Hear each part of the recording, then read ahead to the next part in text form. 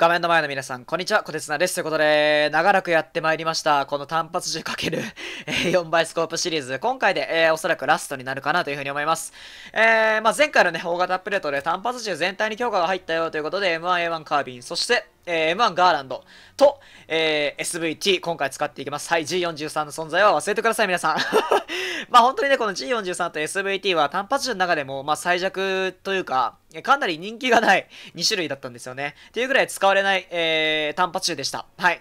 で、今回最後にこの SVT に4倍スコープをつけてやっていくんですけど、実はこの SVT ね、あの、2発キルなんですよ。エマンガーランドに並んで唯一2発キルの単発銃になってるんで、えー、近距離非常に強いんですよね。実は。実はね。本当に。M1 ガーランドの方がもちろんあの発射レートが速いんで、タターンって撃てちゃうんですけど、まあこの子はこのタンタンぐらいの発射レートなんですけど、ブレが非常に落ち着いていて当てやすい。遠距離ですね。中遠距離が非常に当てやすい。えー、しかも結構な距離を2発キルで倒してくれるんで、で、ブレの仕方は、まあフルで撃って、あれだけ、見えるかな ?4 スコで。まああれだけまとまってくれてるんですよ。見えるかななんで、ブレも結構少なめで2発切るということで、えー、実はこの子強えんじゃねえかっていう、4倍スコープと相性いいんじゃねえか、なんかみんな選んでないけど案外使えるんじゃねえかっていうことで、えー、今回ね、最後に、えー、持ってきました。この SVT のひろゆく OAO2 なんですけど、この子の可能性をね、まあ、ぜひ皆さんにお伝えしたいなというふうに思います。ということで、え最後までご覧ください。どうぞ。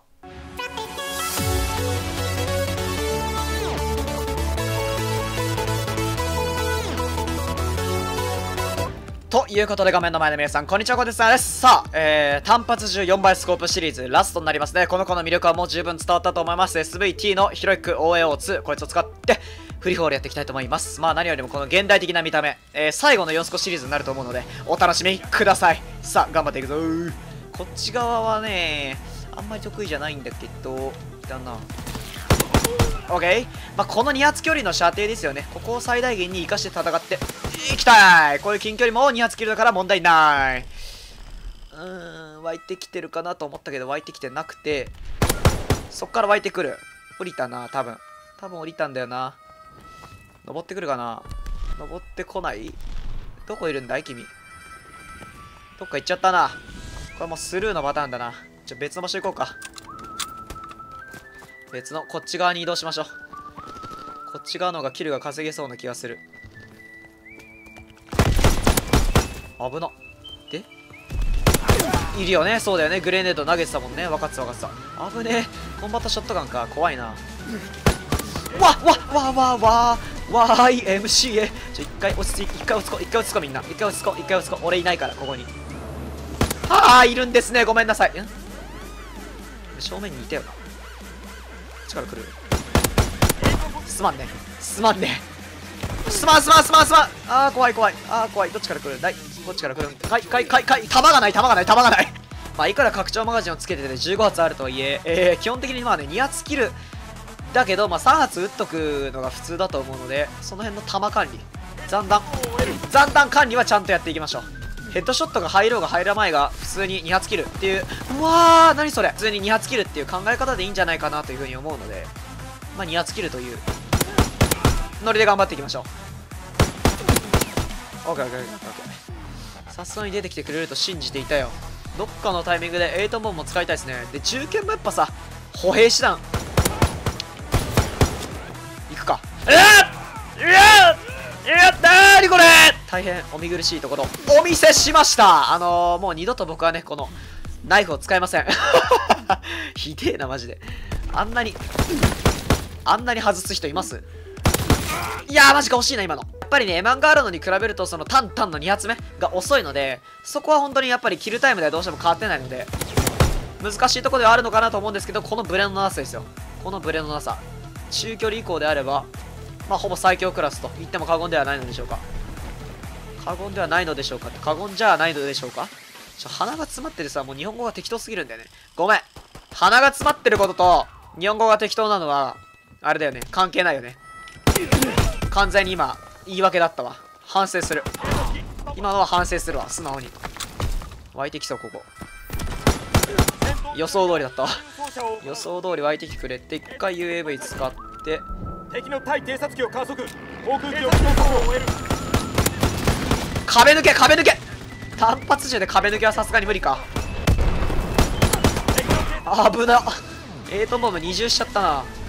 エイトボム二重してしまったな。使いたいな。使いたいけど使う暇がないぞ。右にもいる。足音が俺には聞こえる。オッケー。いやこの距離でもさやっぱ2発キルだから全然戦えるんだよね。えー、今の一発目と2発目すけすぎでしょ。さすがにインゴ。飛んだ。ラララソーラをこうえウェウェウェウェウェウェウェえ今の死なないだと。予想外すぎる。タタタタタタタタタタタタタラタタラタタタタタタラタタラあれ俺が死んでない予想外それはそれで予想外なんだけどなんか中で借款が打ち合ってましたね怖すぎな怖すぎなやっぱ普通に強くねなんかさ最弱だったじゃん単発銃の中でもさ。本当にマジでチョイスされなかったけどさこの子はっきり言って。で俺自身もやっぱ4スコで使うんだったら M1A1 が1番かなみたいなところあったんだけどでもな全然ありなんだよね SVT まあ全部のあーい全部の単発銃がね基本的に強化が入ったってことで確かね。なんでまあ、それの恩恵を受けてるってのもでかいのかもしんないんだけどでも全然本当にありだと思うんだよね。なんかすげえグレネード飛んできてんだけど。怖すぎな。うんうわっやいやいやいやあ勝てたし。いや今のあと一発だったね。今のをパスッとやれてたらかっこよかった。爆撃。はい。なんかグレネードもめっちゃ飛んできてる。ルンルルンルン。ルンラスキルさかっこつけて。OK ということで最後までご視聴いただきありがとうございました。どうでしょう？SVT 悪くないよね。俺もまあ4スコア正直 M1A1 が最強かなと思ってたんだけどやっぱりねこの2発キルっていう、まあ、存在のでかさ近距離十分戦える単発銃になってくるんで結構割かしあったんじゃねえかなと思います。はい。まあこれでね長いことやってきたこの単発銃4スコシリーズ。だいぶしつこかったと思うんですけど最後になるんでね、えー、ぜひよかったらねチャンネル登録高評価ボタンコメントのよろしくお願いします。また次回の動画でお会いいたしましょう。これさんでした。お疲れ様です。あーさん。えー、志願者エピックですね。こいつを使ってフリーホールやっていきたいと思います。